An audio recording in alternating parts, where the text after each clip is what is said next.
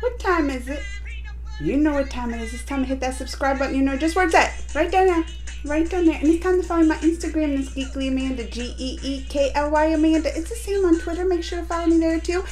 And it's time to get this movie review started.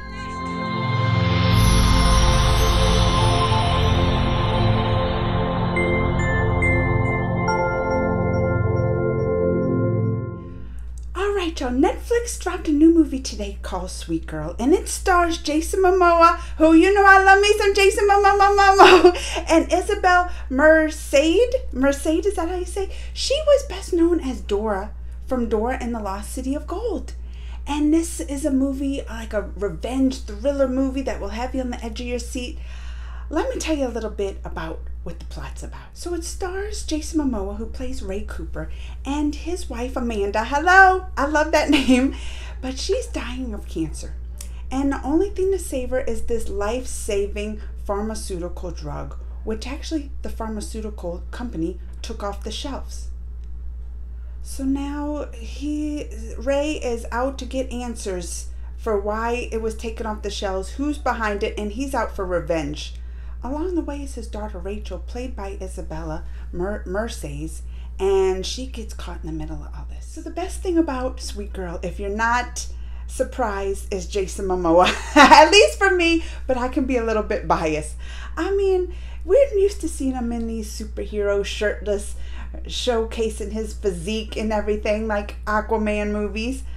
But in this one, you know, he really had to kind of dig deep in some of the emotions, like the grief and, and being overcome with that. And you see that raw emotion come out of him.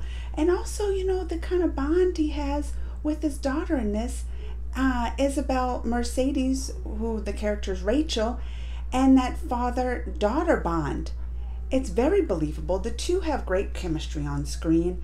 And um, it's not that surprising considering Jason Momoa is a father himself and seems to be a very invested father.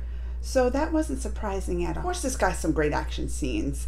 And there's a big twist, which I don't want to tell you about anymore because I don't want to give any spoilers. That was the best part about the movie is the twist. What I didn't like about it, I mean, the writing was good, the twist was good.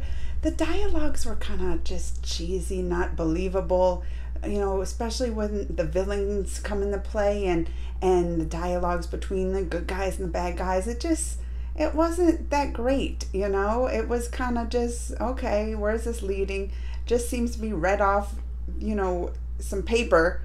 It wasn't that great at all. I tell you, you know, this is about Jason Momoa, you know, his wife Amanda passing away, and the thing is, I wasn't very invested in that. They kind of just glossed over their relationship, glossed over her, even her cancer and and uh, you know and death even that you're just like, all right, get revenge. But you're not so much invested in her death and, and that story to really be invested in the revenge story. Do you know what I mean? So it was kind of like, all right, you're getting revenge, whatever, because your wife died. We hardly got to see the white. The movie just dragged. I mean, I love a good action movie, but I also want some substance. And I, I want, you know, I wanted more of, like I said, more of the lead up and, and the build up of like this revenge and, and the emotions and everything just instead of just fight scene after fight scene after fight scene it just got old after a while let me tell you a little bit about what the parents need to look out for when watching this for kids when watching this movie. You're to get some harsh language. They have the f word they have the s word the b word. Even they had uh, the balls and the gd word. So there's to be some uh, harsh language in this, and it's said throughout the movie. Other than the language, the other big lookout is the violence, of course, I've been telling you. There's hand to hand combat, there's guns, there's knife wielding, there's stabbings and, and murder from gunshots, and, and kids put in like dangerous positions and dangerous situations.